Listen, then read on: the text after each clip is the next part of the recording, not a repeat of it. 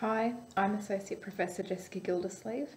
I work at the University of Southern Queensland in Australia, and I'm the author of the introduction to Handheld's new edition of Rose Macaulay's Non-Combatants and Others.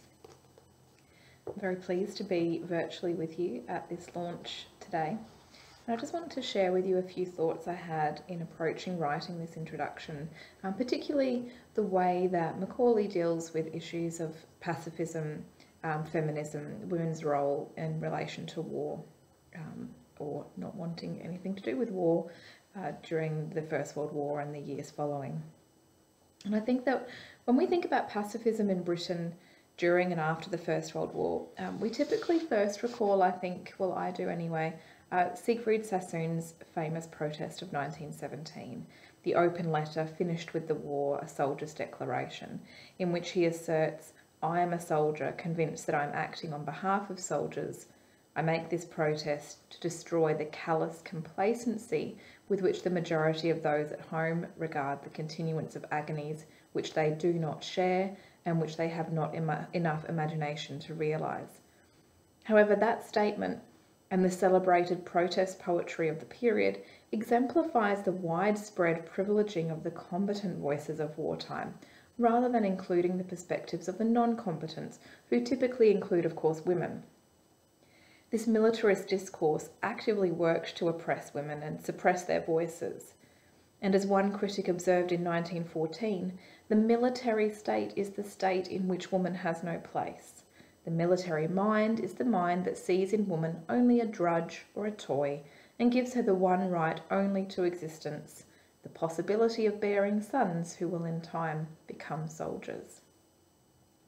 Macaulay's novel, Non-Combatants and Others, is one of only a few which depict instead the perspective of war from women at home, and in particular those who do have enough sympathy and imagination to want to abolish war altogether. In one sense, then, Macaulay's wartime writing emphasises the way women's work at home was just as critical, if just as dull, as men's work on the front, as in her poem Spreading Manure, beautiful title, uh, from 1916, where she writes, I think no soldier is, as, is so cold as we, sitting in the Flanders mud. I wish I was out there, for it might be a shell would burst to heat my blood. I wish I was out there and off the open land. A deep trench I could just endure. But, things being other, I needs must stand frozen and spread wet manure. But Macaulay also pays attention to the experiences of non-combatants more broadly, constructing a community of anti-war activists and sympathisers that moves beyond only women's experience that Alex in Non-Combatants and Others is a largely androgynous figure, a non-combatant who limps as if she is herself a returned soldier, breaks down those boundaries to drive the point home. The works collected in this volume, uh, Non-Combatants and Others and Other Writing Against War from 1916 to 1945, signifies an evolving history of pacifism and attitudes to the First World War in Britain from the early years of the Great War until the closing years of the Second.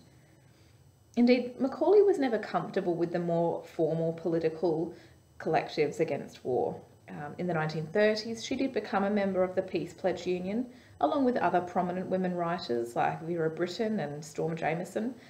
Um, but over time, she came to feel that the police Peace Pledge Union, um, their neutrality was veering too close to sympathy for the Nazis and a lack of sympathy for their victims.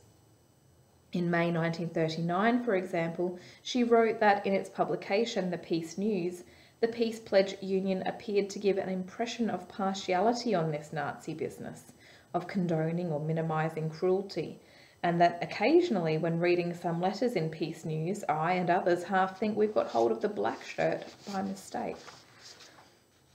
What prominently emerges in Macaulay's writing against war is this idea of acting against violence and cruelty, as well as the importance of community and connection in doing so. It's by failing to care about others that we approach the domain of violence and the sphere of war. And this behaviour is what makes us civilised, Macaulay believes, and this is what must be fought for at all costs. The agony of that requirement and the difficulty of standing up for such morals in the environment of war is what frames Alex's, Alex's experiences in non combatants and others. So I'd like to finish now by reading a short section of the novel from the end of the second chapter when Alex discovers her cousin John, who's a soldier home on leave, sleepwalking in the middle of the night. He's not just sleepwalking, I should say, but he's crying, sobbing, moaning like a little child like a man on the rack, Macaulay writes. John's sister Dorothy, a nurse, swiftly helps him before returning to Alex, who's vomited from the horror of what she's witnessed.